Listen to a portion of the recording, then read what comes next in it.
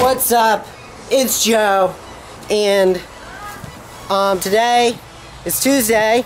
It's a random video, and now that I am pretty much healthy from my injury, I'm gonna start doing some of these videos where I'm learning a trick again.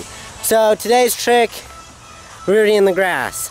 If you were wondering about the music, I'm midway through a weekly session, I mean weekly training video that'll be out tomorrow. So if I do it, then this little guy will get it and it will be in the video, in the weekly training video tomorrow. But it'll also be in this video, so don't worry.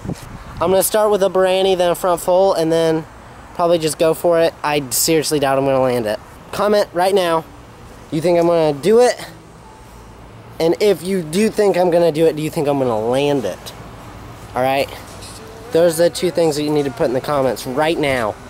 Anyways, let's uh, go ahead and do this. Let's go ahead and get this video done.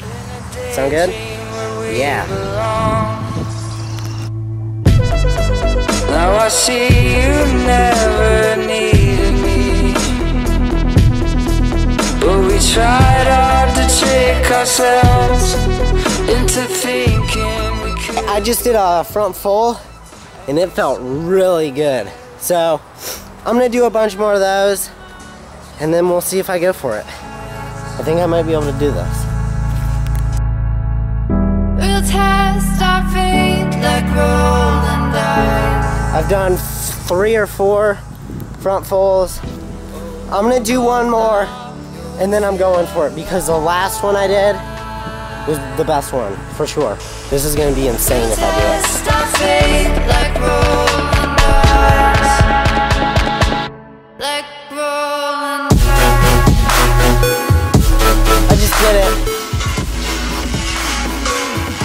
Time to land it. Here we go.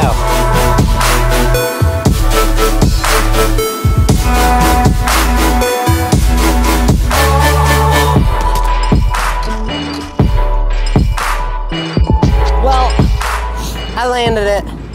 It was a little bit under rotated with the feet, or under spun, but I'm counting it because, yeah, that was awesome. So, yeah, I learned a new flip. I can't believe I actually did it. Holy crap. Anyways, actually, I can't believe I landed it, more importantly. Um, yeah, that's all for this video. Jeez. Thank you for watching. Don't let today be wasted, and I'll see you tomorrow. I love your face. Peace.